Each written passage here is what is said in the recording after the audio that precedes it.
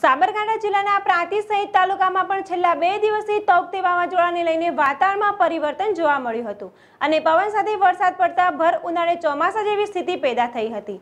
તો વહેલી સવારથી જ વરસાદ પડતા જનજીવન ઉપર પણ અસર જોવા પડી હતી.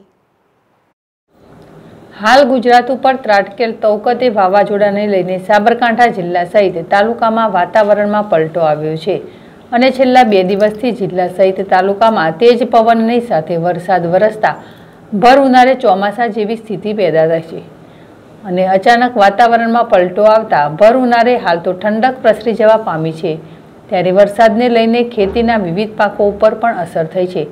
જેમાં ફ્લાવર, કોબીજ, ભટ્ટા, કપાસ, મગફળી, બાજરી, ઝાર સહિતના પાકો વરસાદી પાણી ફરી વળતા પાકને નુકસાન થયું છે. તો સવારથી જ વરસી રહેલ વરસાદને લઈને વાતાવરણમાં ઠંડક પ્રસરી જવા પામી હતી. તો વરસાદના કારે પ્રાંતિજ સહિત તાલુકામાં પણ જનજીવન ઉપર અસર જોવા મળી હતી.